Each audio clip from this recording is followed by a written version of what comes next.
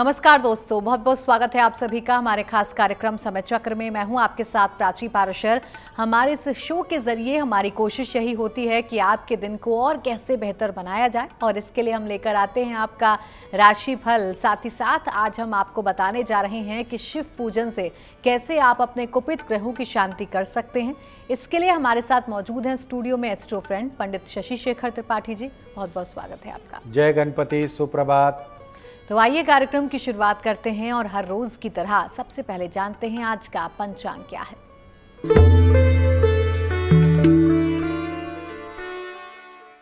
संवत दो हज़ार छिहत्तर माह श्रवण कृष्ण पक्ष चल रहा है, तिथि द्वितीया है, चंद्रमा मकर राशि में संचरण कर रहे हैं। नक्षत्र श्रवण नक्षत्र है। राहु काल दोपहर डेढ़ बजे से लेकर तीन बजे तक रहेंगे। इस बीच में शुभ कार्य नहीं करने हैं। दिशाशूल दक्षिण दिशा की ओर। आज दक्षिण दिशा की ओर यात्रा बिल्कुल नहीं करनी चाहिए। और अगर कोई बहुत ही मजबूरी है, तभी आप जाइए। और जाने से पहले हनुमान मंदिर में जाकर हनुमान जी महाराज के दर्शन ज़रूर करिए। तो ये है आज का पंचांग। कैसा है आज का दिन, ये आपने जाना। आप जान लेते हैं राशि के मुताबिक कैसे आपको आज अपने दिन की प्लानिंग करनी है। यानी क्या कहता है पहली छह राशियों का राशि फल मेष राशि। दिमाग में बेवजह की बातों को सोचने से आज बचना है। अनावश्यक बातें आती रहेंगी। कोई भी बेवजह की परेशानियाँ पहाड़ बनकर आपके सामने आ सकती हैं। ये मानसिक रूप से उलझने रहेंगी। लेकिन आज आपको ये सब छोड़ दीजिए। आप गणपति जी का ध्यान करिए, सारा तनाव आपका दूर हो जाएगा। वहीं आपको ऑफ़िस में थोड़ा ध्यान ये रखना है कि कोई भी आपको झूठा आरोप लगा सकता है। तो इसलिए बहुत क्लियर रहिए।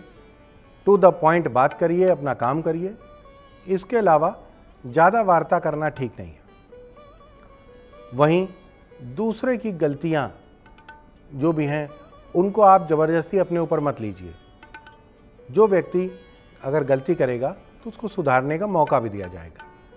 घर में कोई अगर पूजा पाठ या कोई यज्ञ या कुछ भी कार्य कराना चाहते हैं तो करा लीजिए। आज का दिन बहुत अच्छा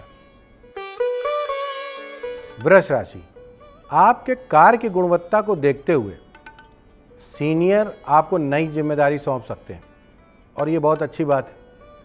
लेकिन आपको जो वो ज़िम्मेदारी लेनी है, उसके लिए कुछ तैयारियाँ करनी होंगी, खुद को अपडेट करना होगा। आप अपने काम पर फोकस करते हुए नई ज़िम्मेदारी का निर्वहन बहुत अच्छे से करेंगे। इसके अतिरिक्त, आप जो पूजा करते हैं, घर से निकलते समय जो आप पाठ करते हैं, इस पाठ को थोड़ा ऊँचे स्वर में करिए। अगर आप पूजा मन में करते हैं तो ऐसा नहीं करिए। मंत्रों का उच्चारण करिए, उसकी जो वाइब्रेशंस हैं, उसका लाभ लीजिए। क्योंकि मंत्रों का सकारात्मक प्रभाव लेने का समय चल रहा है, और ये आपके लिए बहुत अच्छा है। वहीं इसके अतिरिक्त, यदि आप कोई प्रेरणात्मक पुस्तक पढ़ें तो उससे भी लाभ है, मोटिवेशन मिलेगा। कुल मिला के दिन उत्साहवर्धक और प्रेरणादायक बनाना है। मिथुन राशि। कार्य अधिक है, इसलिए मेहनत के बजाय कार की टेक्निक पर आपको ध्यान देना होगा। कई बार पूरा काम मेहनत से नहीं होता है। कोई भी बड़ा कार्य है तो कार्य करने की जो टेक्निक है, वो काम करती है। तो नए नए तरीकों के साथ आप काम करेंगे। इससे आपको कार्य भी जल्दी होगा और ऑफ़िस में काफ़ी प्रोत्साहन भी मिलेगा। लैपटॉप, टेक्नोलॉजी सबका प्रयोग करिए, इससे आपको लाभ होगा। मानसिक परेशानियों के चलते कुछ रोग आ सकते हैं। कई बार ऐसा होता है कि स्वास्थ्य नहीं ठीक है, इसलिए टेंशन है। कई बार टेंशन की वजह से स्वास्थ्य खराब होता है। तो बहुत ज़्यादा मानसिक तनाव लेने की आवश्यकता नहीं है। आनंद के साथ आप कार्य करें। और विपरीत परिस्थिति में आप सम रहिए। अनावश्यक रूप से बहुत ज़्यादा प्रभावित होने की ज़रूरत नहीं है। सम रहिए, चीज़ें सब ठीक हो जाएँगी। कर्क राशि।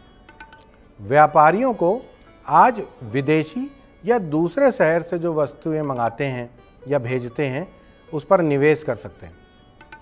ग्रहों की स्थिति, विदेशी वस्तुओं के माध्यम से आपको लाभ कमा सकती है। इसलिए आप ये ध्यान रखिए कि कोई भी बाहर वाला काम करते हैं एक्सपोर्ट करते हैं तो उन लोगों के लिए बहुत अच्छा समय है। ग्रैंडफादर पितामा की ज़रूरतों का ध्यान रखिए। वो आपके साथ अगर रहते हैं तो बुज़ुर्गों की सेवा और ख़ास तौर से पितामा आपके जो ग्रैंडफादर हैं, उनका आशीर्वाद आपको बहुत ज़रूरी है। वहीं कोई भी गरीब व्यक्ति है जिसके पास खाने को कुछ कमी है तो उसको आप अनाज दान दीजिए। उससे आपको आशीर्वाद भी मिलेगा और पुण्य में वृद्धि भी होगी। सिंह राशि।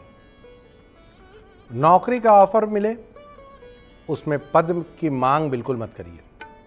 धन की मांग करिए। यानी आज का दिन कोई नया ऑफ़र आपको मिलता है तो पोस्ट की बजाय आप पैकेज पे फोकस करिए। यही ज़्यादा अच्छा है, क्योंकि ग्रहों की स्थिति लाभ देना चाहती है, आर्थिक उन्नति कराना चाहती है। इसके अलावा और लाभ लेने के लिए आप गाय के लिए कुछ चारे की व्यवस्था करिए। आप स्वयं कर सकें, बहुत अच्छी बात है, स्वयं खिलाइए। यदि आप व्यस्त हैं, नहीं कर सकते हैं तो किसी गौशाला में आप कुछ सेवा दे दीजिए, कुछ आर्थिक मदद करिए, जिससे वो लोग खिलाते रहेंगे। जनसंपर्क से जुड़े हुए लोग, जो जनता की भलाई करते हैं उनके साथ भी तालमेल बैठाइए। खुद विकार करिए। कुछ सोशल वर्क करने का आज समय बहुत अच्छा है। इसके अलावा दूसरों की भलाई में, यानी परमार्थ करते समय, जैसे कोई मंदिर है, वहाँ पर आप जा सकते हैं। थोड़ा सा श्रमदान दीजिए। थोड़ा सा मेहनत करिए। वहाँ की सफ़ाई करिए। ये बहुत आपके लिए उपयोगी है। कन्या राशि। आज सभी कार्यों को करने के लिए आप पूर्ण सक्षम हैं। इसलिए कार्य के लिए मेहनत से काम करिए और सहयोगियों की ज़रूरत नहीं है आपको। आप अकेले ही सारा कार्य कर सकते हैं, इतना कॉन्फिडेंस और इतना प्लैनेट की एनर्जी आपको मिल रही है। बस ध्यान ये रखना है कि जब कभी ज़्यादा एनर्जी मिलती है तो कुछ हाइपर हो जाते हैं। तो हाइपर नहीं होना है और केवल काम करना है। जो लोग व्यापारी लोग हैं, जो भी नया व्यापार करना चाहते हैं तो उनको अभी श्रम ज़्यादा करना चाहिए, निवेश कम करना चाहिए। मेहनत ज़्यादा करें, निवेश कम करें। समय, व्यापार के प्रति कुछ बहुत पॉजिटिव नहीं है, लेकिन बहुत निगेटिव भी नहीं है। सकारात्मक तरीके से आप काम करिए, गणेश जी की पूजा करिए, व्यापार भी आपका खूब चलेगा। तो ये था पहली छह राशियों का राशिफल। आज का दिन आपका कैसा रहेगा, ये आपने जाना। वक्त है दर्शकों के सवालों का, लेकिन इस बीच आपको भी बता दें कि आप हमसे जुड़ना चाहते हैं, हमसे कोई सवाल पूछना चाहते हैं, अपने सवालों का जवाब चाहते हैं तो आप हमें मेल कर सकते हैं अपनी डिटेल्स और सवाल। हमारी मेल आईडी आपके टेलीविज़न स्क्रीन पर फ्लैश की जा रही है।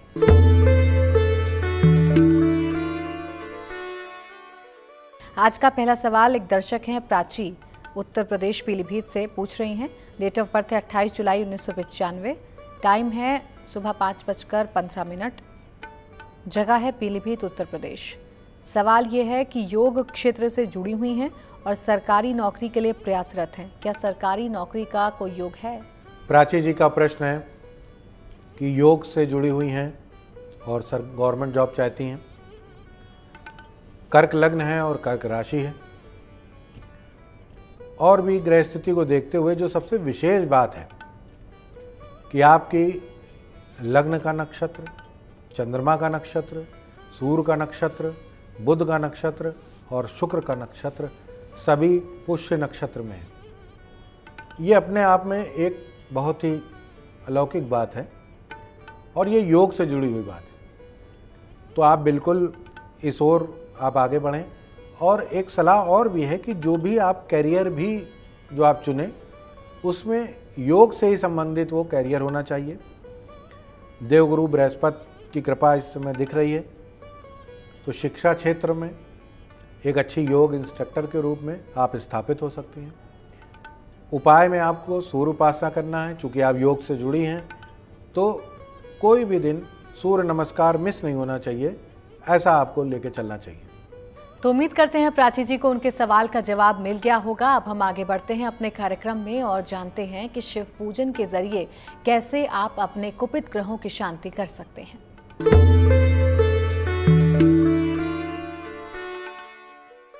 सावन शिव जी के लिए आराधना है।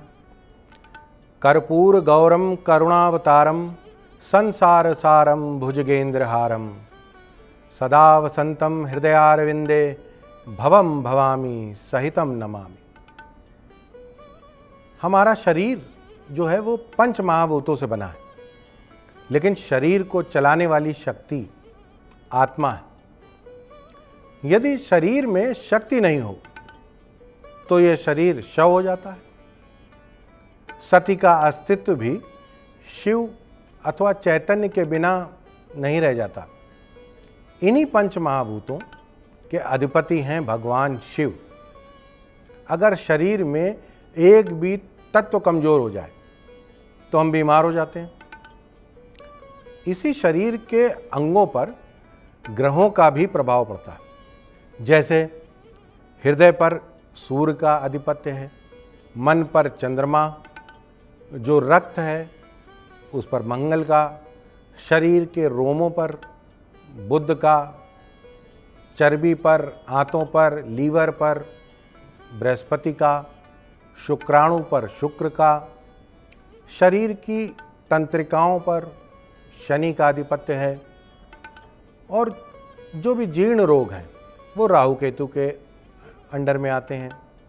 अगर ग्रहों की स्थिति खराब प्रभाव दे रही हो, अब वो चाहे कुंडली में ग्रह की पोजीशन की वजह से हो या अंतरिक्ष में गोचर की वजह से हो, या दशा ही कोई खराब चल रही हो, सभी प्रकार की जो समस्याएँ हैं, वो अगर प्रभावित कर रही हैं।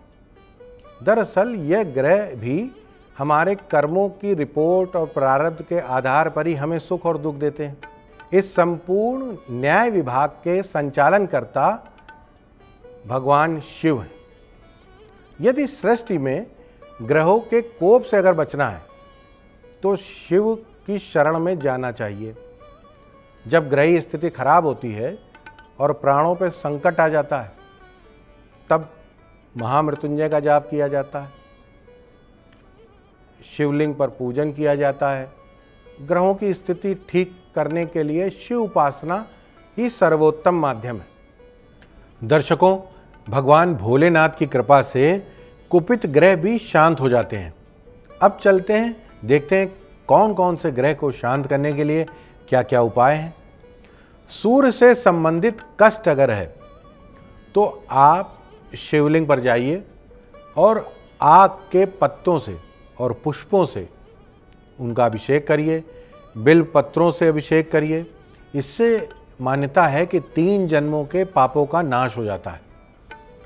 वहीं यदि चंद्रमा से संबंधित कोई बीमारी है, कष्ट है, चंद्रमा शीत रोग देता है, खांसी जुखाम निमोनिया, स्नोफीलिया और रक्तचाप, ब्लड प्रेशर की अगर कोई समस्या काफ़ी लंबे समय से चली आ रही है तो शिवलिंग पर दूध चढ़ाएँ और रुद्राष्टक का पाठ करें उन्हीं के सामने। वहीं अगर मंगल से संबंधित कोई बीमारी है, मंगल रक्त का कारक है तो उसमें आपको गिलोय जड़ी बूटियों से अभिषेक करना चाहिए। वहीं बृहस्पति देव पे आते हैं। बृहस्पति देव से संबंधित यदि बीमारी है, अगर फैट ज़्यादा है क्योंकि वो गुरु हैं, आंतों से संबंधित, पाचन तंत्र से संबंधित, लीवर से संबंधित कोई समस्या है तो शिवलिंग पर हल्दी मिश्रित दूध दूध में आप हल्दी मिला लीजिए और भोले बाबा पे चढ़ाइए। शुक्र से संबंधित कोई बीमारी है शुक्राणु से संबंधित कोई बीमारी है, मूत्र संबंधित, किडनी से रिलेटेड कोई भी दिक्कत है तो पंचामृत और शहद और देसी घी, गाय का मिल जाए तो बहुत अच्छा है। इससे शिवलिंग का अभिषेक करना चाहिए।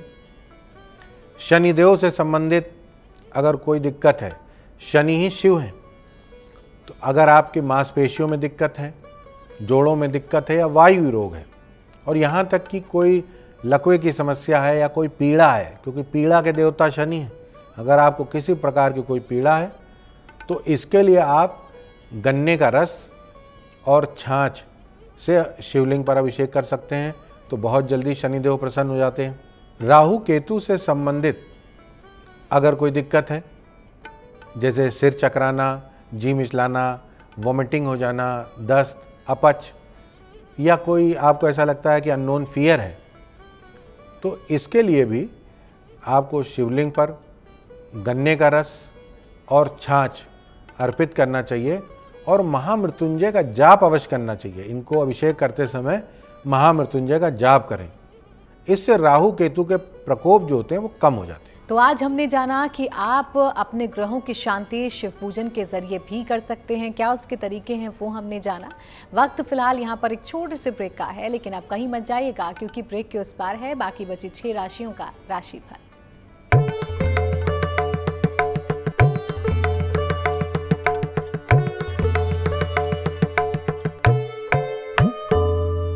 ब्रेक के बाद आपका स्वागत है हमारे खास कार्यक्रम समय चक्र में। आपका भी बहुत बहुत स्वागत है। जय गणपति। कार्यक्रम में आगे बढ़ते हैं। बाकी बची छह राशियों का राशिफल हम जानेंगे लेकिन उससे पहले सवाल लेते हैं दर्शकों के।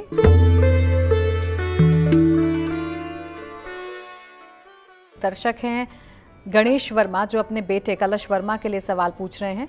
डेट ऑफ़ बर्थ है 17 जून 2012 समय है रात नौ बजकर बीस मिनट।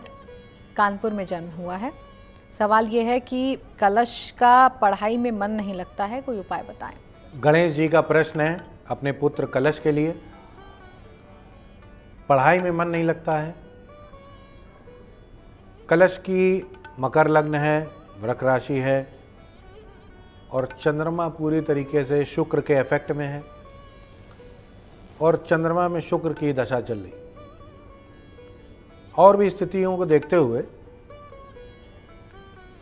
गणेश जी, आपको कलश की पेरेंटिंग में कुछ विशेष ध्यान रखना होगा। खास तौर से ये ध्यान रखना होगा कि बच्चा टेक्नोलॉजी का कोई दुरुपयोग ना करे। यानी दिन भर मोबाइल पे गेम खेलना, या मूवी देखना, या कार्टून देखना, क्योंकि जो इसका ब्रेन है, वो टेक्नोलॉजी की ओर काफ़ी अट्रैक्ट हो सकता है।